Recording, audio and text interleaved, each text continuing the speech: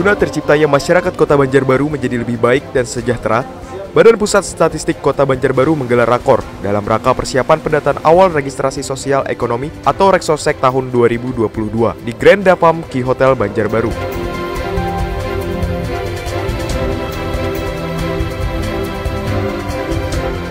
Terlaksananya rekor ini merupakan langkah strategis dalam rangka pendataan awal registrasi sosial ekonomi, terutama dalam penyediaan sistem berbasis data kependudukan terdiri dari profil, kondisi sosial, ekonomi, dan tingkat kesejahteraan.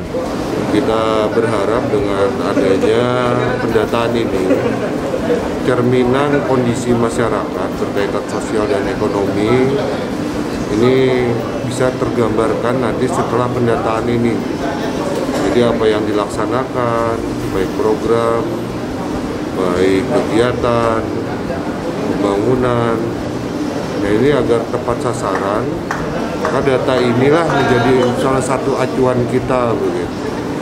Untuk mengevaluasi dan lain-lain. Jadi mudah-mudahan data ini segera eh, pendataan ini segera terlaksana, data komprehensifnya bisa ada sifatnya begitu, dan ini menjadi bahan evaluasi kita ke depan. Registrasi sosial ekonomi juga merupakan salah satu upaya penanganan angka kemiskinan di Kota Banjarbaru. Terkait bagaimana kami BPS kemudian dengan uh, rekan-rekan uh, pimpinan SKPD uh, Kota Banjarbaru itu melakukan kolaborasi.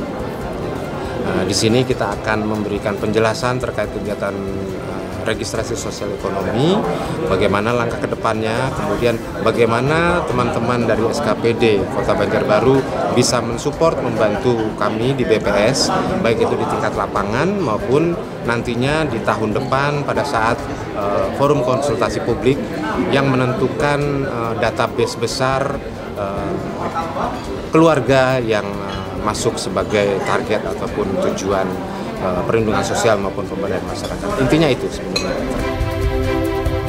Dalam hal ini, pemerintah Kota Banjarbaru akan mengarahkan berbagai program perlindungan sosial dan pemberdayaan masyarakat dengan lebih tepat sasaran.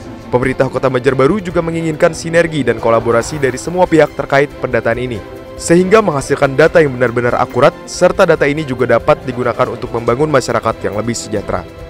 Dari Kota Banjarbaru, Tim Liputan Banjarbaru TV melaporkan.